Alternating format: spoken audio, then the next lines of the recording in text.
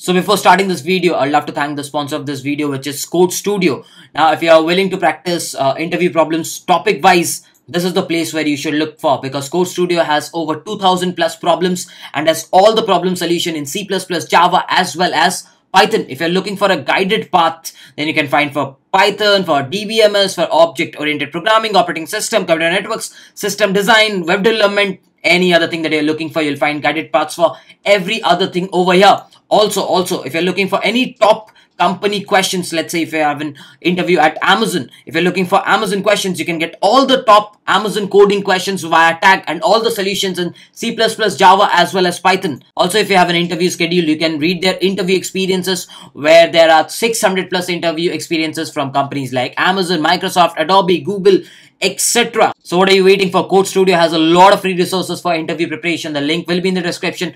Make sure you check it out. Everyone, welcome back to the channel. I hope you guys are doing extremely well. So till now we have done four problems on tries and all the problems were related on strings where we had to do a string search, where prefix search, count prefixes and all those uh, type of questions. Now we will be moving to the next phase of trie questions that are related to bit manipulation. Yes, tries using uh, bit, like bit manipulation and tries combined you will be getting a lot of questions which involves the concept of XOR but before moving to that you have to understand some basics of bit manipulations which are uh, absolutely the prerequisites for the tries bit manipulation. So what are the uh, basics of bit manipulation? Now whenever i see a number 9 and i ask you the binary conversion of it you generally uh, tend to say 1001 is the binary of 9 is it? No in tries you won't be uh, treating 9 as 1001 uh, because in tries we always consider the entire bit set. Now a computer doesn't store 1001 yeah you you say 1001 that's okay but does the computer store it? No. A computer always stores it something like this 000 and then 1001 if it's an integer yes if it's an integer this is uh, 32 bits. If it's a long long it's 64 bits that is how the computer stores it now whenever i say uh, 32 bits the indexing goes like 0 1 2, 3 and so on till 31. So the indexing goes from right to left. Okay. Now why is the indexing like this? Because if you see this, this is nothing but 1 into 2 to the power 0. This is 1 into 2 to the power 3. And this 1 into 2 to the power 0 gives you 2. 1 into 2 to the power 3 gives you 8. Sorry, uh, 1 into the power 0 gives you 1. 8 plus 1 gives you 9. So that's why, yes, that's why uh, it's indexed from the right to the left. Now, if I ask you a very uh, interesting question, when a number will be having a larger value? The simple answer to that is if if 2 to the power 31 is involved, if or 2 to the power 30 is involved. In short, if the numbers uh, from the right, if the powers of 2's from the right have the bit set as 1, then I can say that the number will be super maximized or super super big. Now over here, there is 8, 8 over here, so it's not that big, but if you had like this guy which is to the power 28 then this number could have been massive right? So this is very very important to understand that the bit manipulation indexing goes from here to here. In order to have a larger number you need powers of 2's which comes from the left side not from the right side right? So the next prerequisite will be XOR what does XOR state? Now, you know the binaries will have only 1 and zeros. So XOR states that if you are doing XOR of different bits different bits you get 1 so whenever you do a XOR of different bits you get 1 whenever you do a XOR of similar bits you get 0 so if I like this is just in terms of two numbers. If I expand that I can say if there are even number of ones. Yes if there are even number of ones it gives you 0 if there are odd number of zeros then it oh sorry odd number of ones then it gives you one. So this is uh, in short uh, how it is dealt with.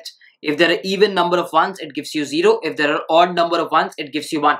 So this is the funda of XOR next uh, prerequisite that is required is how to check if a bit is set or not okay so as i said whenever i write 9 that's basically 0 0 0 dot dot dot, dot 1 double 0 1 where this guy is the 31st bit this guy is the 0th bit Now, if someone comes up, yes, if someone comes up and says you, hey, can you please tell me if the third bit is 1 or not?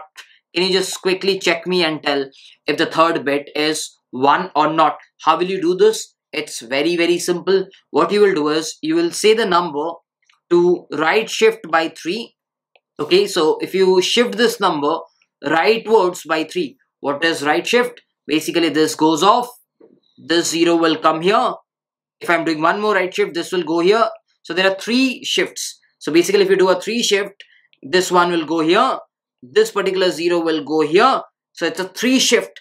The entire binary shifts by 3 places. So this 1 comes over here. This 0 comes over here. Then a 0, then a 0, dot, dot, dot, dot, dot.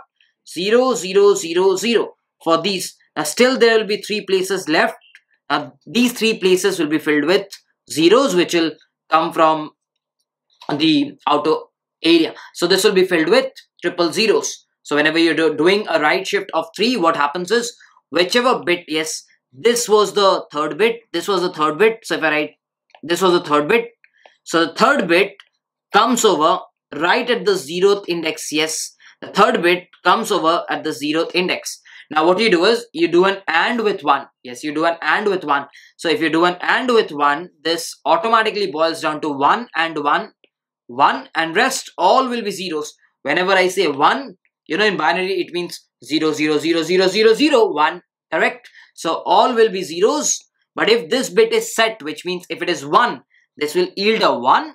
And if this would have been 0, in case this would have been 0 and this would have yield 0. So it's very simple. What I can say is if num right shift of index which you're checking for and 1, if this is not equal to 0, then the bit is set.